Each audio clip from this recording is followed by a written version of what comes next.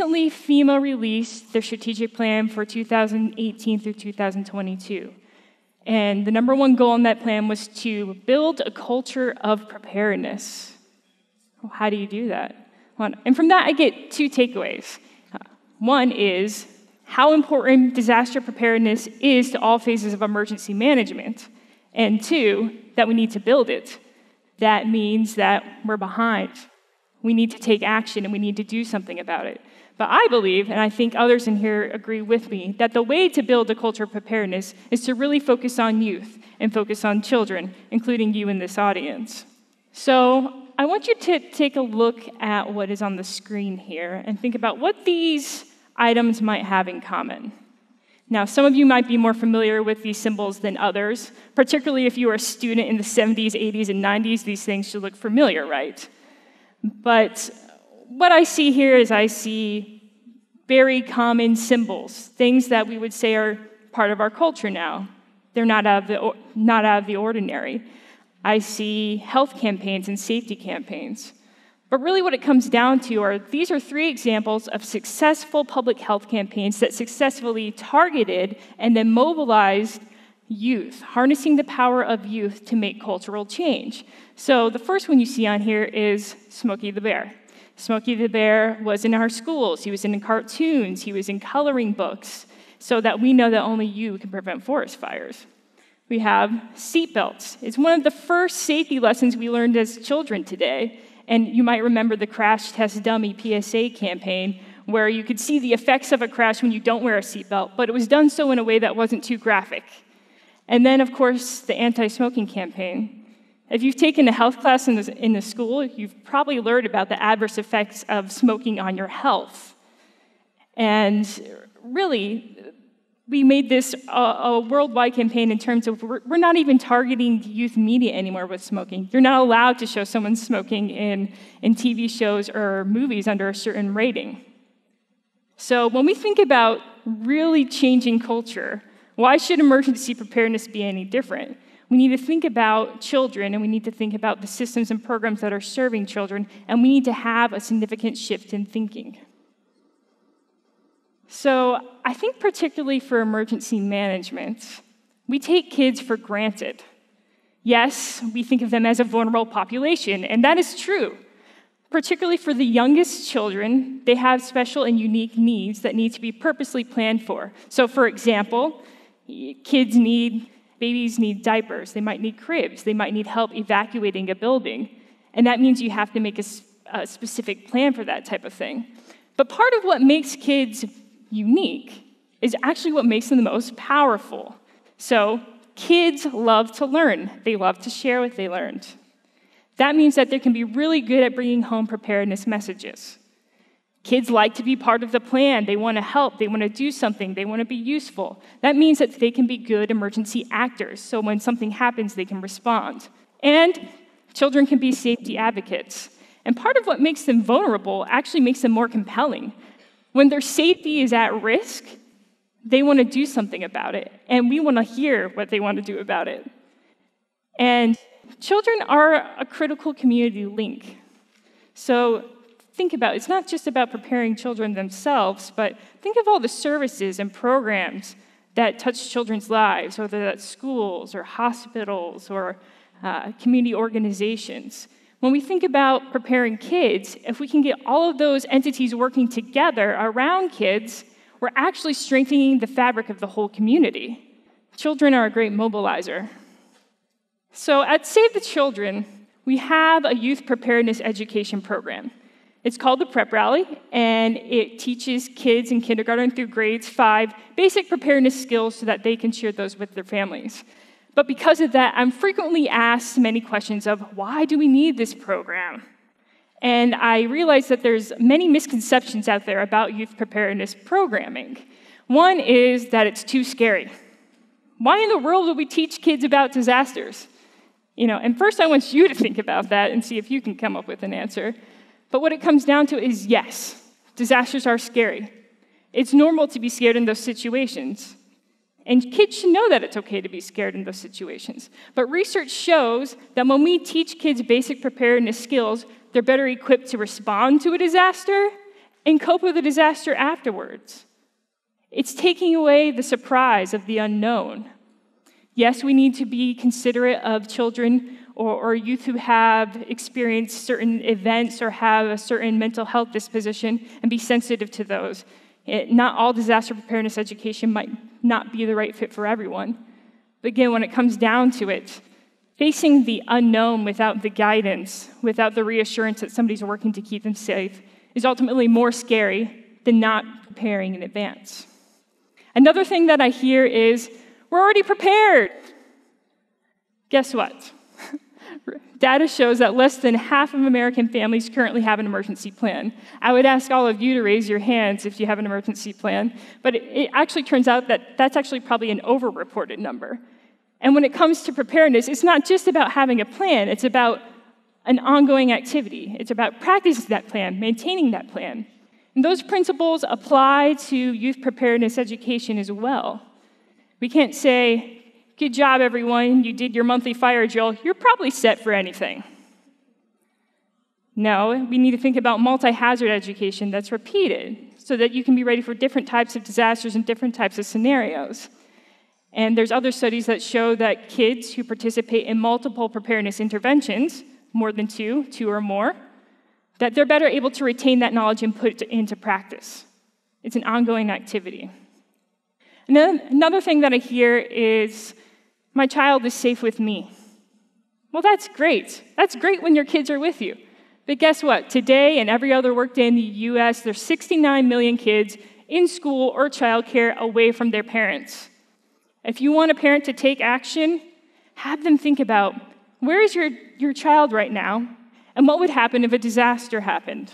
Would you know what to do? Would you know what's happening at your child's school?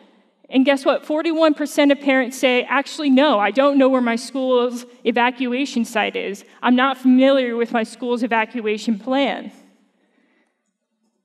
Yes, as adults, we need to be responsible and make sure that we're putting plans in place to prepare kids. But kids are in a, such a variety of environments, we need to equip them with the skills that they need to be prepared no matter where they are. So I've had many of these conversations over my career, but when it comes down to it, there's no satisfactory excuse for not investing in youth preparedness education. Going back to some of my, my key points, the first is that kids are really good at bringing home messages. They're great message bearers. And this is because kids love to learn. If you have a child yourself, or even if you have a little brother or a little sister, you know how excited they are to share with you every single detail of what happened that day. You know that they love to ask a lot of questions. So why not give them something that's really worth learning, really worth sharing about? And the good news is is that Families of kids who bring home just one preparedness resource are 75% more likely to have an emergency plan.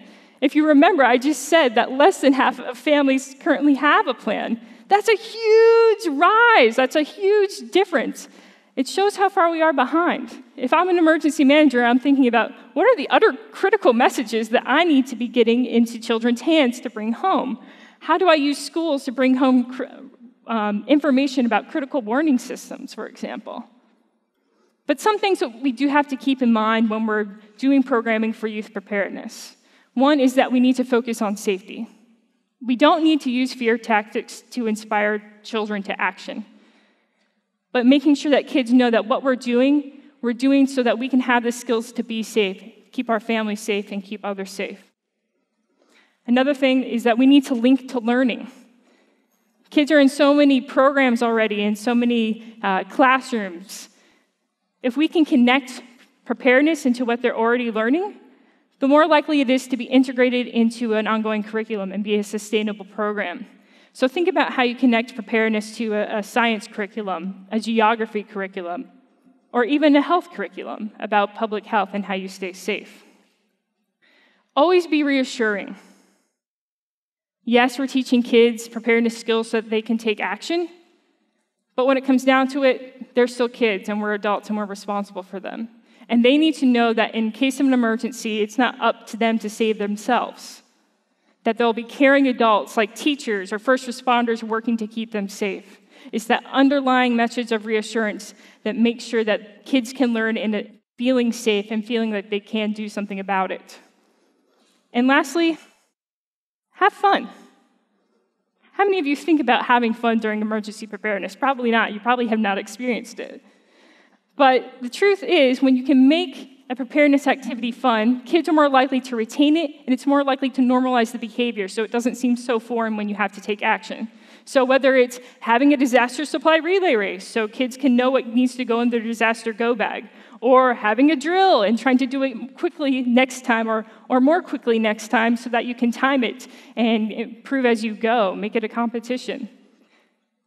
Those are all acceptable ways to help include emergency preparedness into a curriculum. And so let's think about how are we going to get messages in the hands of kids so that they can get home to the families that we serve. Children are also capable emergency actors.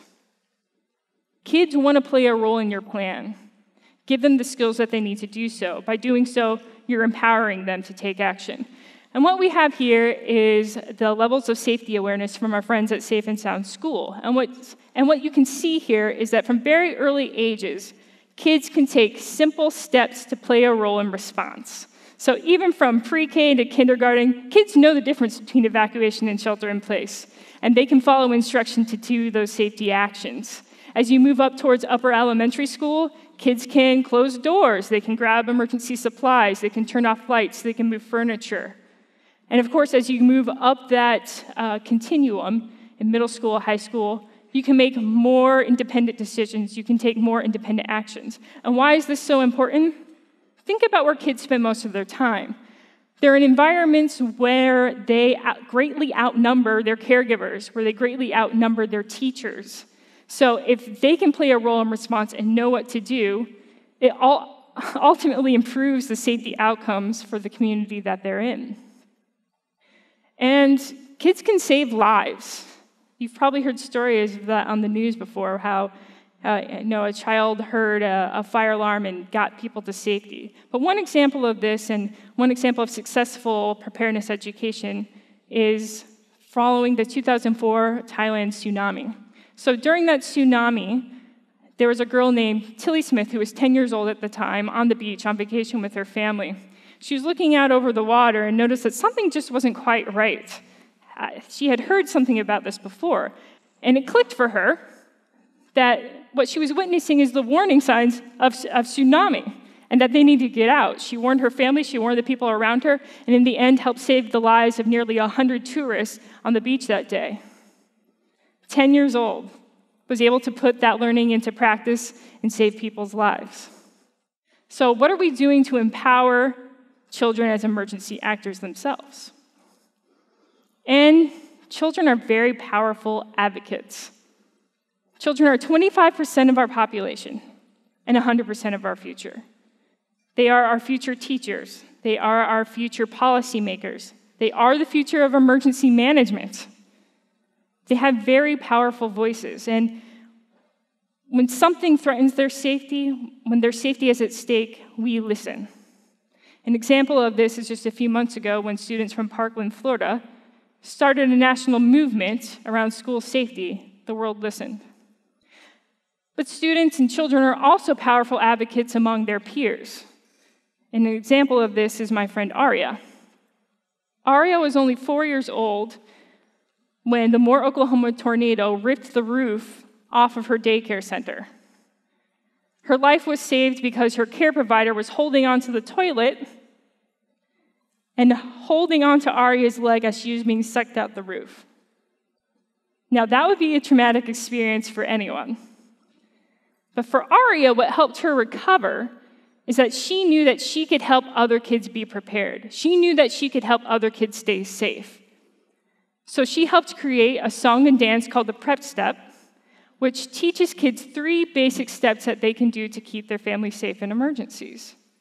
Last year, 100,000 kids did the Prep Step with ARIA, and they are now more ready for disaster. Kids are powerful advocates. What they deem important right now, what they're learning about right now, what they see the adults in their lives value as important, is what's going to be ingrained in them to carry on with them in the future. It's going to be what they want to pass down to the next generation. Emergency preparedness needs to be part of that conversation. It needs to be part of what is normal. And children are a great community link. So, the National Center for Disaster Preparedness, Columbia University, did a study and found that children are the bellwethers of resilience. What does that mean? It means after a disaster, how well children can cope and recover, and more, how quickly they can cope and recover, is a very good indication at how the overall community can recover.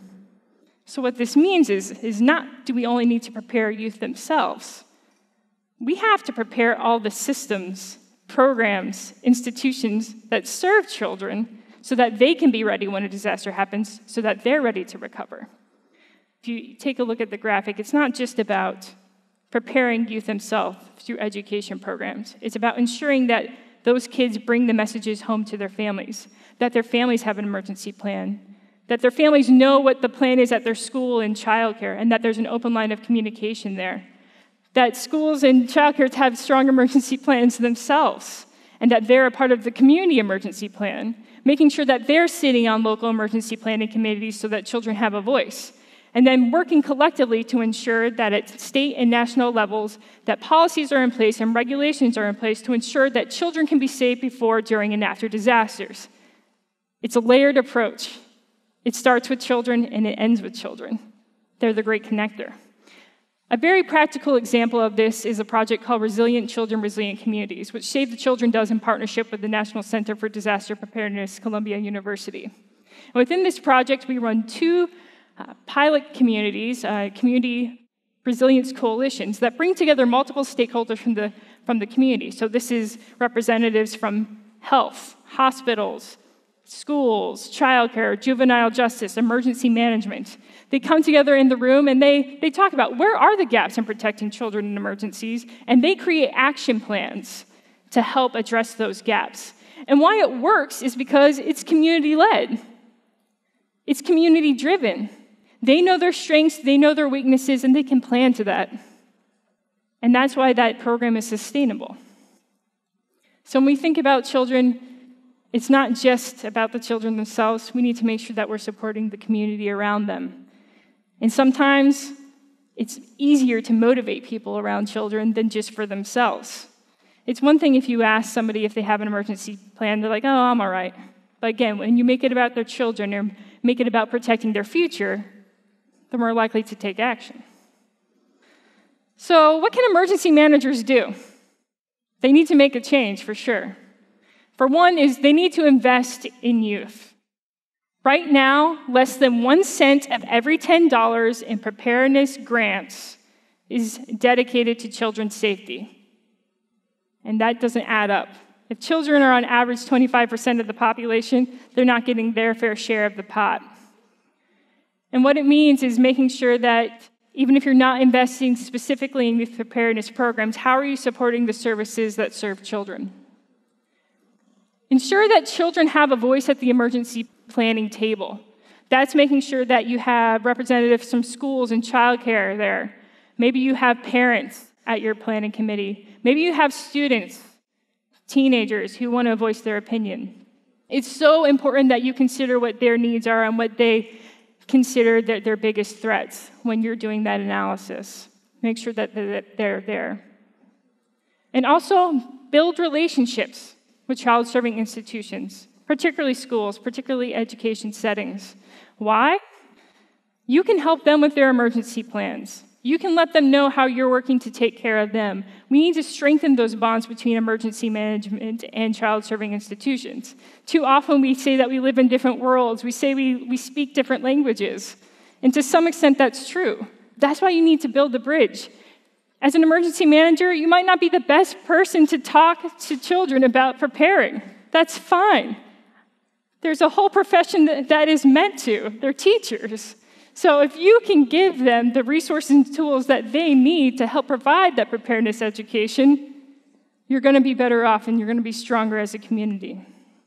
I think the good news here is that for emergency managers, you don't have to start from scratch.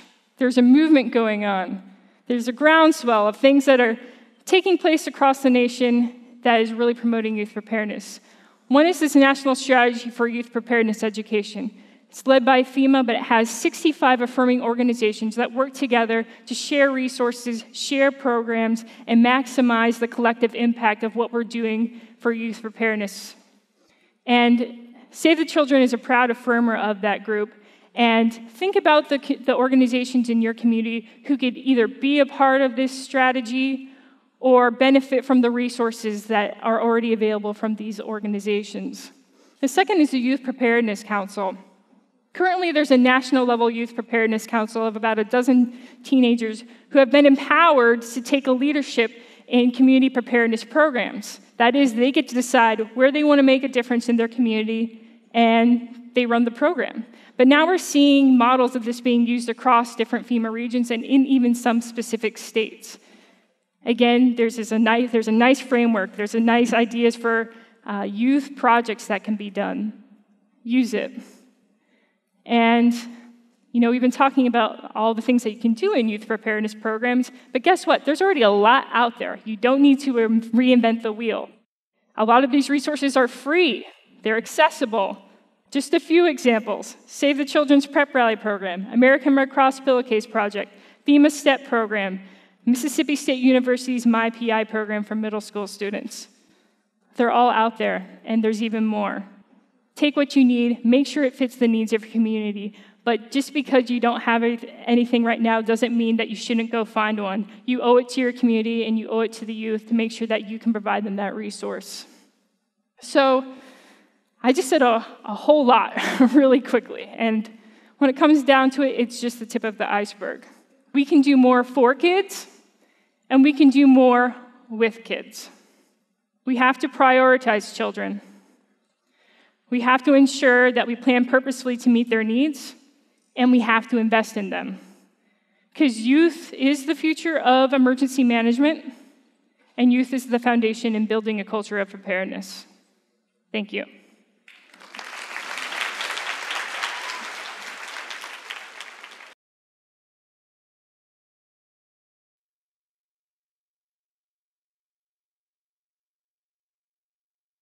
I think it's normal for kids to feel anxious when talking about these situations, but I think it's important to lay some ground rules in terms of you know, making sure we're reassuring that there are people working to keep them safe, making sure that they know what their resources are, as opposed to not letting know what their resources are, is um, is better in this this instance. I, I think, you know, again, the, the risk is out there.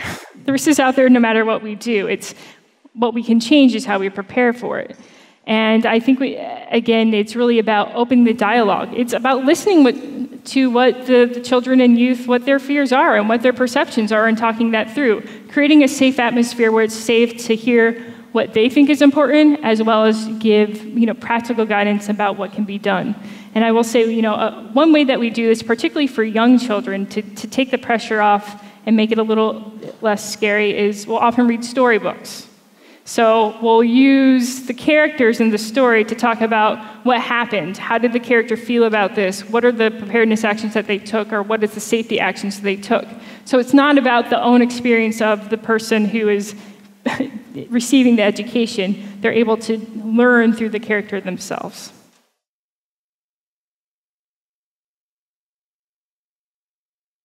At Save the Children, first of all, we always welcome you to learn more about what we do. Go to savethechildren.org to find out more. Um, uh, I'll say that one thing that you can do as, as a teenager is we actually train teenagers to run our prep rally program for younger kids. That's one of the best ways that we mobilize youth to do direct programming with other children in their community, and we can use it to get volunteers hours out of it. And then, of course, you know, I, I can always say you can always host a fundraiser to support children in the U.S. or 120 countries around the world where we offer health program, education program, and disaster assistance. So, thank you.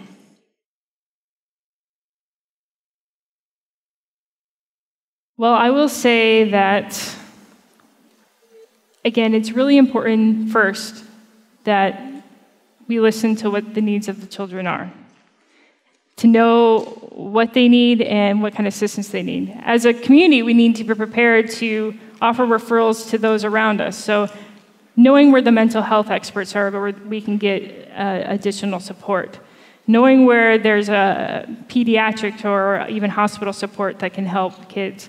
I think it's hard to put every situation in, in a box and say this is exactly what you should do as well. Um, it's, it's something that we have to work on. I don't think it's something that we're, we're excellent at. Um, but listening to kids, reassuring kids is what we always kind of fall back on making sure that they know that even if this bad thing happened, we're still here, we're creating a safe community for you, and we're going to be working to keep you safe and working to get you the, the supports that you need to get through it. Because um, kids are naturally resilient, but they need us around them to continue to provide that support.